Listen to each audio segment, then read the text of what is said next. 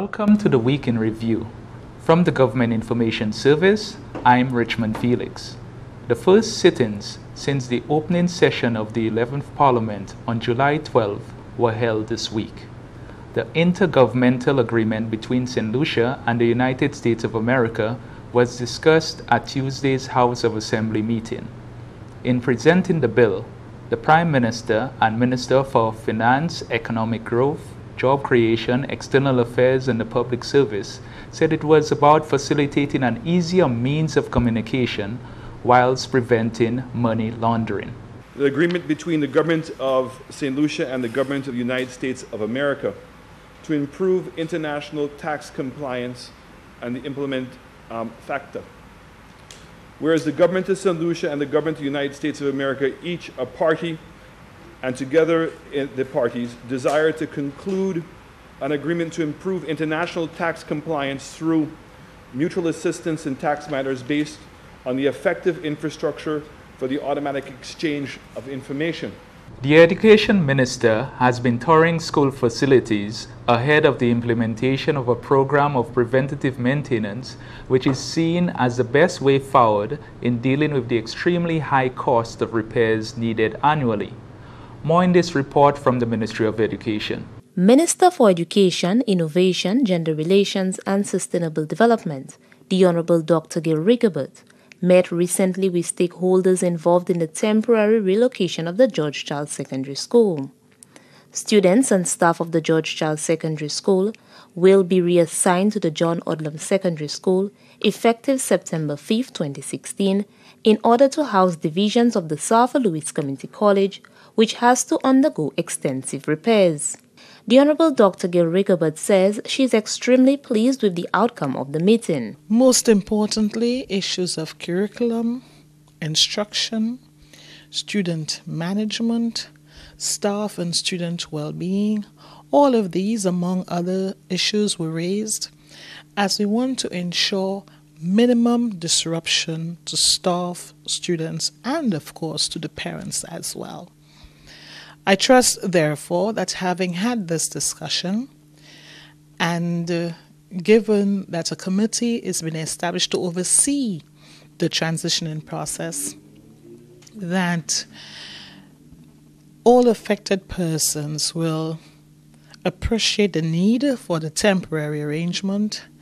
President of the St. Lucia Teachers Union, Julian Monrose, who was present at the stakeholder meeting, says this kind of dialogue enhances the relationship between the ministry and the union, especially in circumstances like the one which is currently being confronted. We have always indicated that we want to have open and free dialogue with the Ministry of Education. Um, we're involved in the business of education. We represent the professionals in the system, and that nothing can happen if you don't have the professionals on board. And so we're very happy that the ministry understands that it needs to engage the teachers union. Um, the whole idea is to find solutions because there will be problems. There will be problems in any system. The Ministry of Education has commenced demolition of curtained termite infested structures of the Sir Arthur Lewis Community College and expects to commence rehabilitation works shortly. From the Communications Unit of the Ministry of Education, Innovation, Gender Relations and Sustainable Development, I am Fennel Neptune reporting. The Sandals Foundation Cricket Academy has bowled off its 14th year in St. Lucia, where some 33 of the island's best under 15 players will converge for one week at the Darren Sammy Cricket Grounds for intense on and off the field training. The 14th edition of the Sandals Cricket Academy is currently underway following an official launch this week at the Darren Sammy Cricket Ground. 33 of the island's top under 15 cricketers are being coached not only in the game of cricket but other life skills as well. Acting Permanent Secretary in the Department of Youth Development and Sports, Dr. Anthony George, urged the young cricketers to develop an attitude of cricketing excellence. What does it require for you to pursue excellence at that next level? What does it require for you as, you know, national champions, as Windward Islands cricket under 15 champions to pursue that level of excellence, setting excellence as the goal at the next level. Dr. George advised this year's group of camp attendees that they should grasp the opportunity to hone their skills during the academy. Set the imagination, align it with what you believe, and pursue it vigorously by nurturing the skills, the capabilities, and the endless potential that you do have. The Sandals Cricket Academy is a nursery for the development of the island's national under-15 cricket team, and the Department of Youth Development and Sports has been an integral partner during this process. From the Ministry of Equity, Social Justice, Empowerment, Youth Development, Sports, Culture and Local Government, I'm Ryan O'Brien reporting. The government of St. Lucia received $2.26 million from the Republic of China, Taiwan to upgrade sporting facilities. The funds were donated for lighting installation at the Babonneau, Canaries, Dennery South, and Choiseul playing fields. Any money spent in sports is not a cost but an investment. And that this contribution, and specifically the lighting of four additional playing fields in St. Lucia, will go a long ways in helping support the long-term goals that we have for sports in our country. For many community residents everywhere, Taiwan and St. Lucia, I believe, after dinner, we still have time to do some interactions in, in the community. So this is a, I think that uh, it's very important to increase the capacity of the community playing field for multiple uses at different times and create more activities that can keep the youth in St. Lucia engaged through sports. 10 St. Lucian elite athletes are engaging their younger counterparts to develop and empower them for the 758 Olympian program. This comes against the backdrop of five representatives participating at the Rio Games this year, especially Levern Spencer, who on Thursday qualified for the high jump final, much the delight of fellow St. Lucians. The Ministry of Equity, Social Justice, Youth Development, Sports, Culture and Local Government engaged athletes to foster youth development. Acting Permanent Secretary in the Department of Youth Development and Sports, Dr. Anthony George, says one aspect of the program is to support St. Lucian Olympians in Rio. It is a show of support for five Olympians who are now in Rio, um, representing St. Lucia at the highest level of their own, their own um, sport. And so we've marshaled the 758 champions, the St. Lucia team from every sporting discipline. Dr. George says this program will teach and inspire over 100 emerging athletes between 13 and 19 years old. We need all of our emerging athletes, our young athletes, to move from their personal best to really establish national records. And then beyond the national records, we want our athletes competing with the world. And so in order to do this throughout this, this academic year coming up, we've put together a national coaching program, an, an emerging athlete development program, an elite athlete development program with the support, of course, of our ministers and the government of St. Lucia. The program covers four development aspects training, personal development, community services, and social interaction among the emerging athletes. In this next report, we get an update on the Owen King EU Hospital. Over the past two months, the Owen King EU Hospital has been buzzing with activity, with the arrival and installation of numerous pieces of equipment and furniture. Claudio Merovich has been involved in all tendering and supervision of contracts at the hospital since 2012. He reports that all is on target thus far. Right now, we're working on the last five contracts that we have, five contractors that are providing all the general furniture, all the clinical furniture, including all the beds and for uh, delivery beds as well. all the surgical tables, uh, also ENT and uh, ophthalmology microscopes, and all the tools and all the equipment that is coming for the maintenance series is also coming in this part of the of the project. And the last two contractors that are going to be starting right now are for physiotherapy equipment and for the lab and the morgue equipment. Mirovich added that all equipment has now been shipped to St. Lucia, with over 30 containers already stuffed at the facility. Several teams of persons are currently engaged in the installation of equipment and furniture within all areas of the facility. Marovich targets the end of September to be completed with most, if not all, the installation. We expect that some of the contractor also finish their work by the end of August. So we would have only a couple of contractors working in September. And that means that um, all the furniture and all the equipment will be ready to start uh, doing training and for uh, doctors and nurses to start uh, working and, and feeling uh, the hospital as their new house, new home. From inception, the Office of the National Authorizing Officer has played a critical role in overseeing procurement, contract management, and payments for all contractors. Without the NAO's involvement, um, the communication would not begin. And so all of the communication um, happens with and through the, the NAO.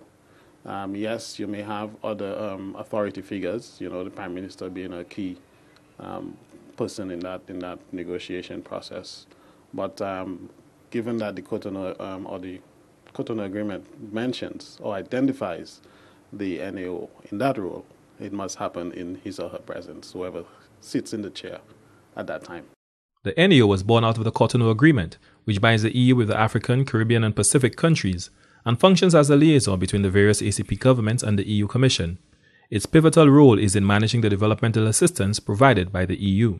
It is anticipated that St. Lucians will be very pleased with the state of the art facility, which will soon be delivered to them. I tell this to everybody, not only to St. Lucians. I think you're going to have a first class hospital in the island. Uh, nothing uh, is going to be missing, and you're going to have one of the best technologies to take care of the health of all the population, which is one of our objectives and I think uh, the people of St. Lucia can be proud of.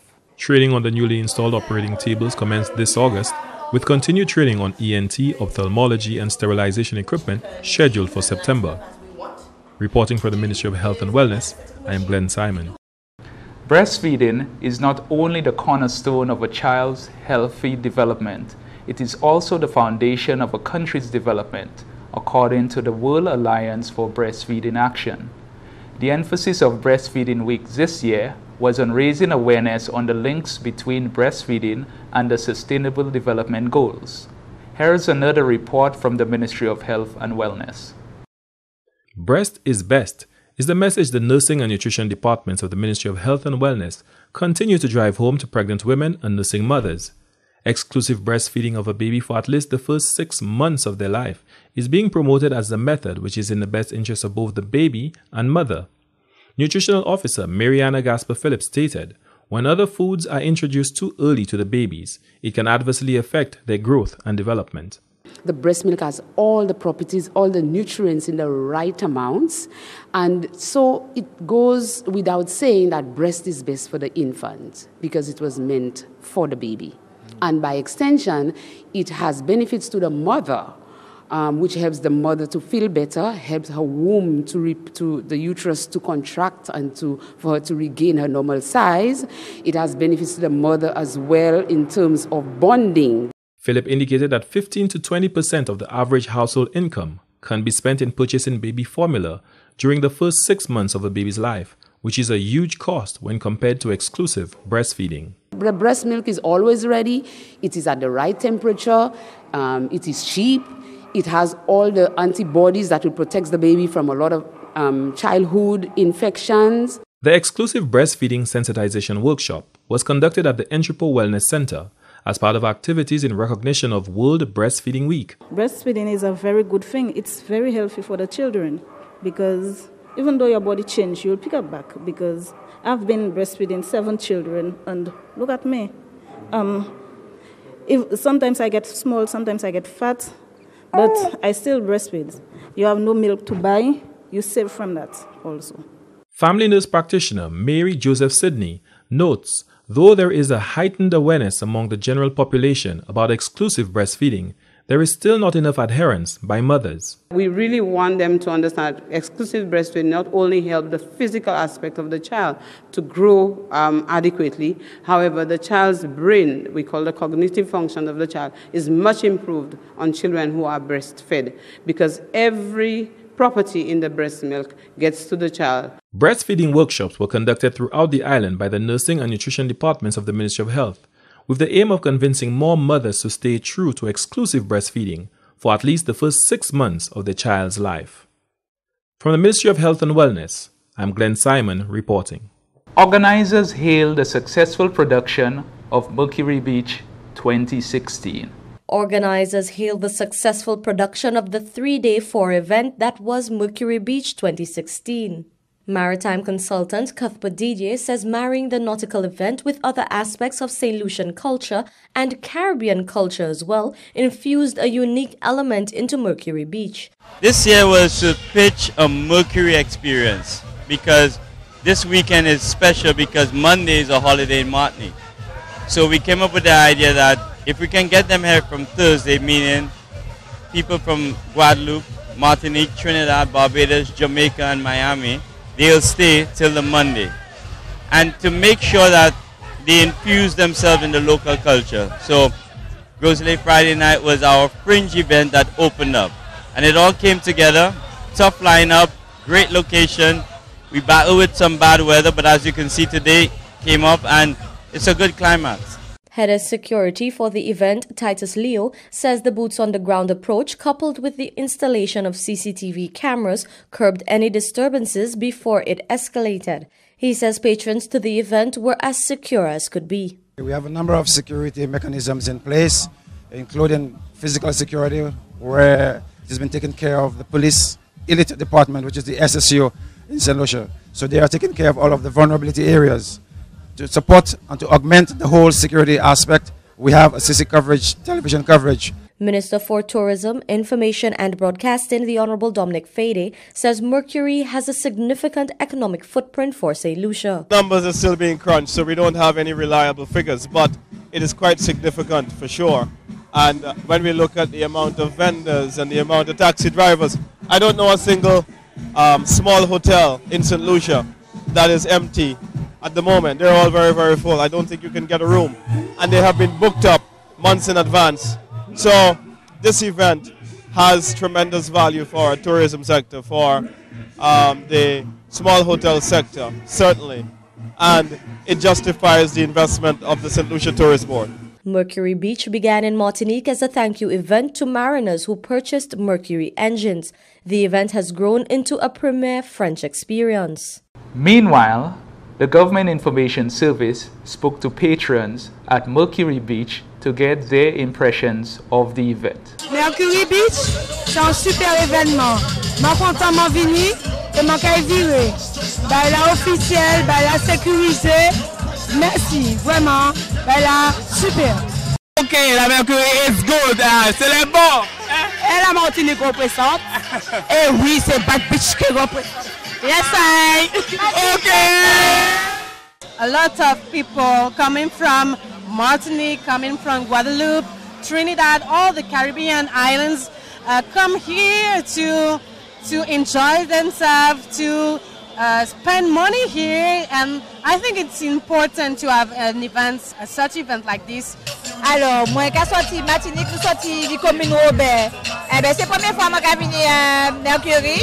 Et bien, quand tout est ça super bien, belle entente, vieux, grand, jeune, enfant, bonne ambiance. Ça a passé super bien et puis au soir, nous regardons les concerts là.